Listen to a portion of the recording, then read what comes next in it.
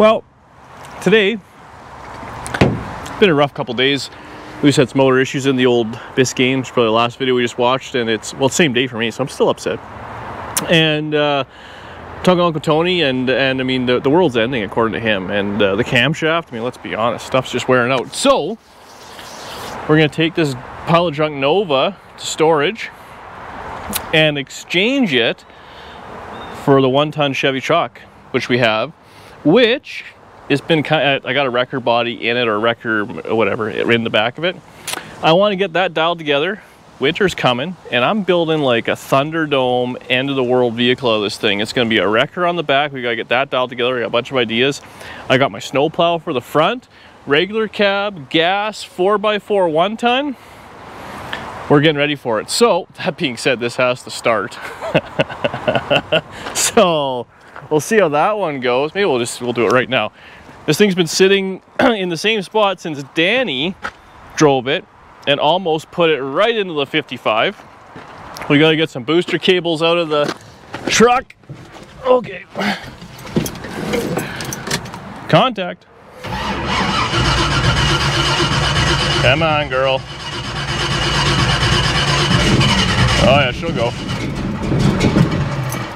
let her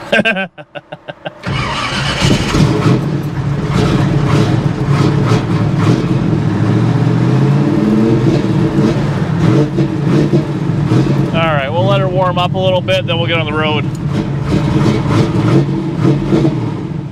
All right, well on the road, it's running good-ish. We're halfway to the storage unit.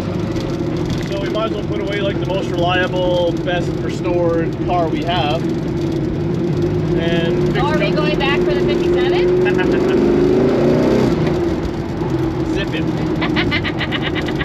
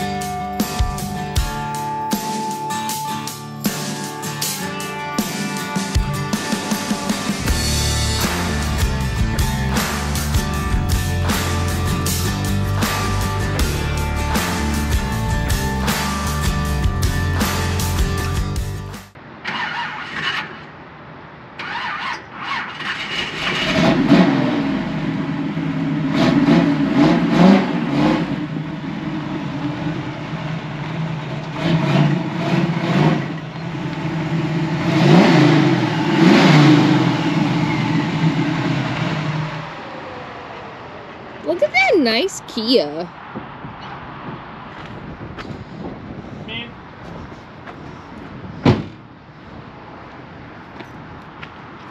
Battery keeps looser on this. Oh, that's some funny stuff I have going on there. Hot rodded. Safety. Alright, well, let's go buy some stuff from Princess Auto. Look at that. Way at home with the old tow truck. Now, obviously I've had this, well, I think maybe I got it in the spring and didn't do anything with it. And Now, of course, it's going to be cold right away, so it's time to work outside. Um, this tow truck, tow truck, it's a slide-in wrecker. It's an old Holmes unit. It was meant exactly for this kind of light-duty uh, service. Now, obviously, what I'm going to be doing is very light-duty. Um, I mean, told my junk around. Most of it wasn't even motors when we're buying it and stuff. The heaviest car I have is probably 3,500 pounds, like a Tri-5 Chevy. You tow it from the backside, doesn't weigh nothing. So, when I got this thing, it was extra cheap. I sold the winch off it, so I have zero dollars into it. The only thing I have into it now is going to be steel. Now, I bought a heavy duty winch. It was on sale, 13,000 pounds, way more than I need, but it was like 500 bucks, wireless. We got a bunch of miscellaneous steel. Uh, a lot of this stuff I'll probably just keep around anyways. Now, the problem when I got this thing was, it's a sling setup, obviously. I have the sling, but the A-frame that joins it at the bottom was missing. So I have to make that. The other thing is, someone had shortened this thing at some point. Now, my buddy Mike had a really good idea because the frame is supposed to be longer on this thing, and then typically tow trucks with uh, like a with a body on them, you lose the bumpers. And you'll end up running the A-frame section off down here. So we're gonna run a little higher. We'll see how that works. And he had an idea. We'll use receiver hitch stuff, and then it's gonna be removable. So I got the body back a little bit. Basically, we're gonna weld onto that, make it straight both sides. They're the trim the right length, so that's good. We'll be able to take these right out with the A-frame, and the idea is this will actually be level or in line with the back of the bed, so I can put the tailgate back on, shunk, when it's not uh, completely in use. So we have all the stuff we need to make it happen. I think the only stuff I'm gonna be missing is how we're gonna anchor it down to the truck yet. So right now we're focusing on getting the wrecker body back in service, winch on, the A-frame going, the sling hung, cable, all that sort of stuff. It should be good. So I'm gonna get started on this and we'll kind of go step by step. I've used tow trucks before, but I've never built one. So essentially, true that up. Now it's not quite gonna line up. We're gonna just get it tacked and then I'll be uh, boxing and plating and all this stuff after. So we gotta get underneath it and all sorts of ugliness. But for right now, let's get working. Well, you know what the best part weld something together, you don't really know what you're doing. There's no wrong way of doing it. So we have our receiver hitches welded. I just tacked them on the top and I welded as much as I could on the bottom. This will have to be flipped upside down or lifted and welded properly and obviously all plated and whatnot, but that's fine for now. I put a little cross brace in just to keep it all square. This is my setup here for what the A-arms are gonna kind of flex on. We got a big honk and bolt between two receiver hitches. These are all on sale. They're like 10 bucks each. So it worked out great. Can't even buy the metal for that. And then this will be able to obviously slide out is my genius plan. Now I'm working on this side. I'm probably gonna do the same on the other. This is five foot long of two and a half quarter wall, which kind of roughly fits on a receiver hitch. You gotta grind a little bit because of the weld. And uh, so obviously we're gonna get it on as much as we can, weld it solid the whole way around. Maybe you put a plug weld on. We'll see how crazy I get.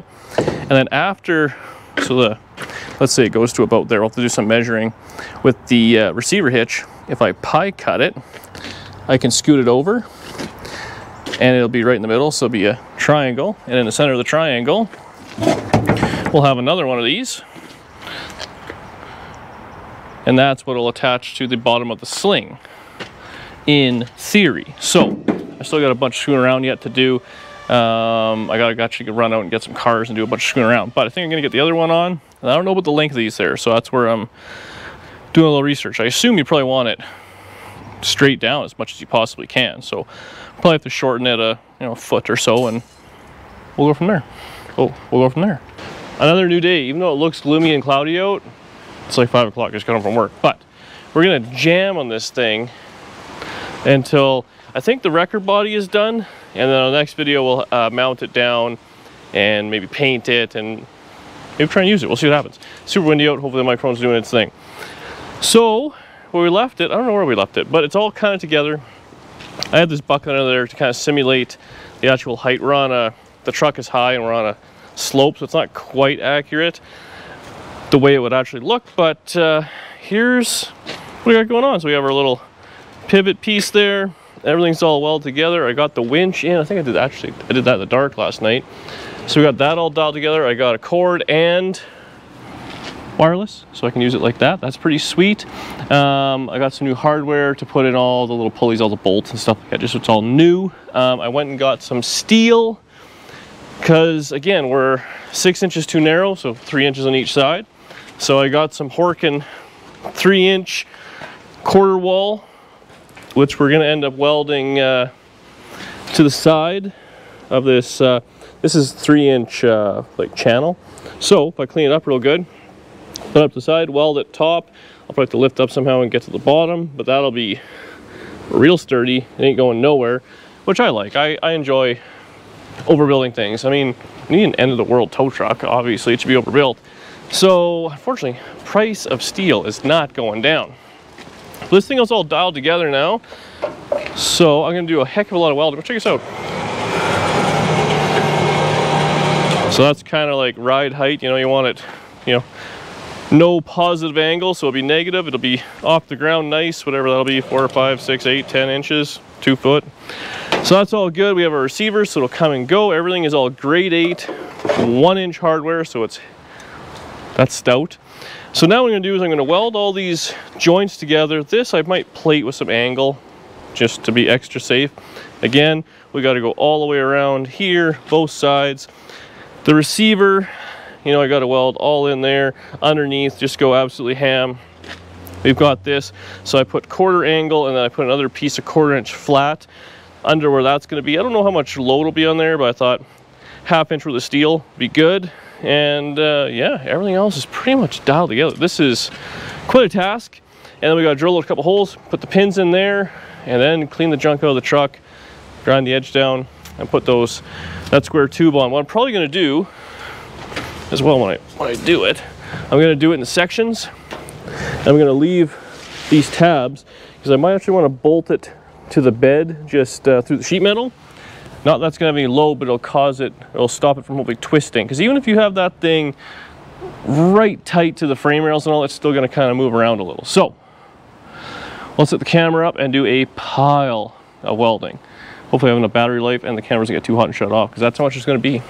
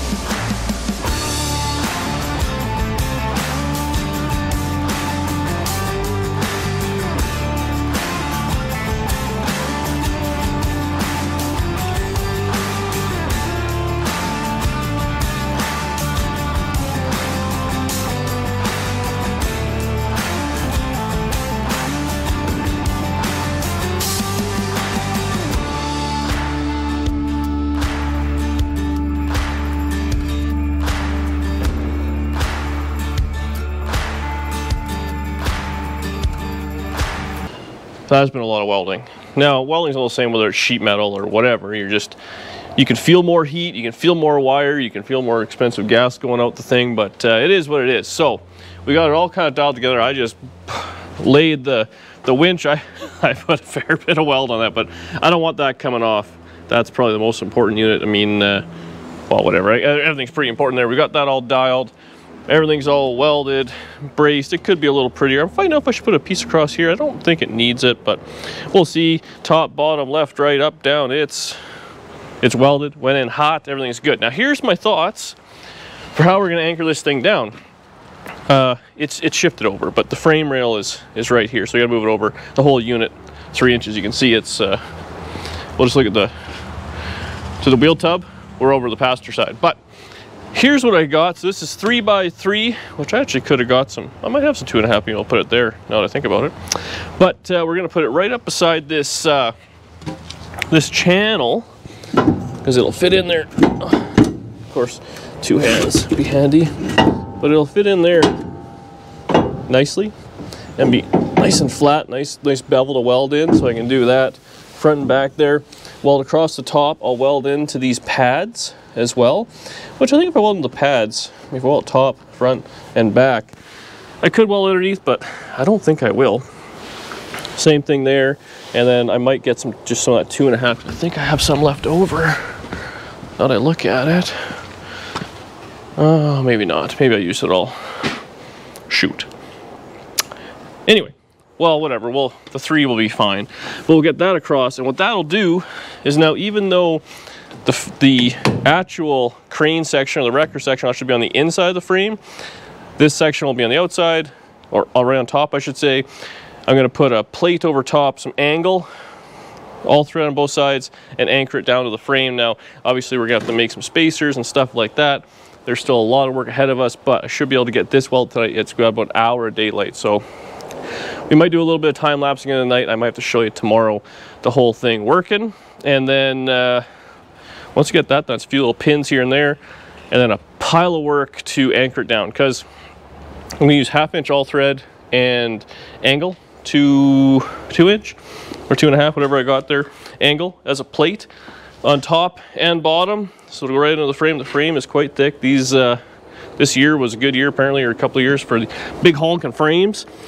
So put it all together, anchor it down, and I think I'm gonna do at least three, if not four clamps per side.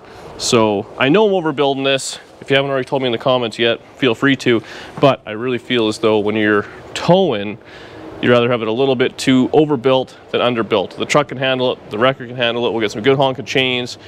We gotta get, I gotta get a weld some stuff for safety chains, that's all coming down, but uh, let's just get back to the fun stuff. So I'll do a little bit more trimming and we'll get this kind of welded up. Man, it's been a lot of welding.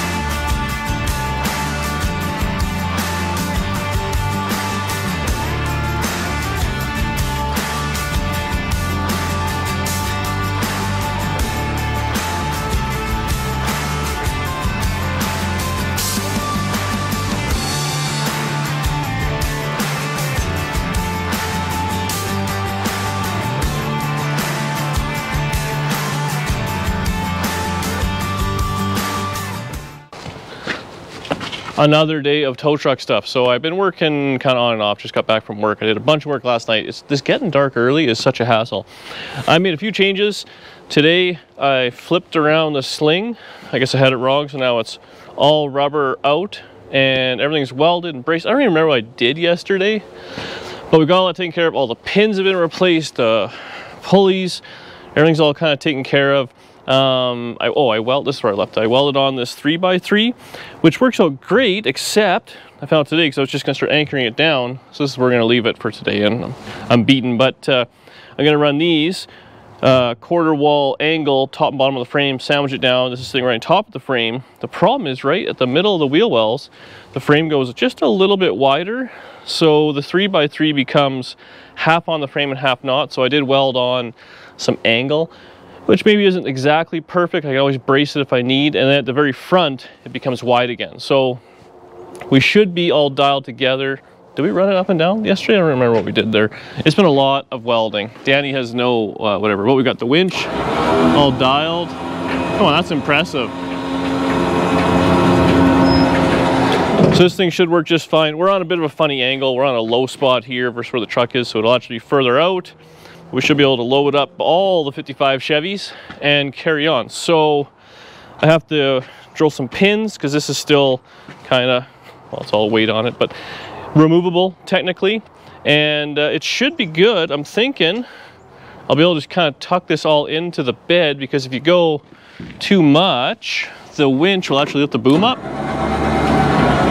And that will, because lifting this is heavy, and uh, some days you don't always want to be a tow truck. So if we go up here, it'll get jammed up in the boom.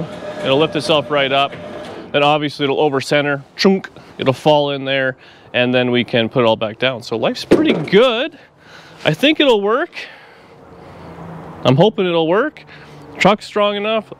I know I put a heck of a lot of steel and the amount of weld I put in this thing has been ludicrous. So I don't know, like an end of the world rig. I still want, so I get this done, I want to put a plow on this thing. This is gonna be a force to be reckoned with out there. And yeah, so next video, that's running this one. Um, next video will be paint the thing, because that's gonna be a big ordeal. Have it finished locked down, and try and lift up maybe a 57 Chevy and see if it'll do it or if it breaks and folds in half and uh, it's a big old fail. But uh, with the amount of steel in it, I think it's got to be fine. Thanks for watching. Subscribe below and uh, leave a comment. If you're a tow truck guy, let me know. I think it's mint.